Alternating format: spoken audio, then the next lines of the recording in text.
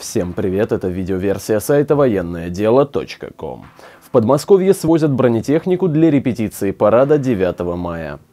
Российские регионы приступают к отправке военной техники в Москву для участия в Параде Победы 9 мая. Информацию передает «Россия-24».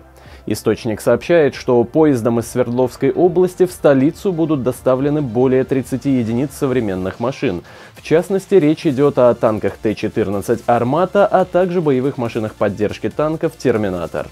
Отмечается, что в Москву направляется военная техника, ранее не принимавшая участие в парадах на Красной площади, а именно танки Т-90М «Прорыв» и БМП «Армата», оснащенная боевым модулем «Кинжал».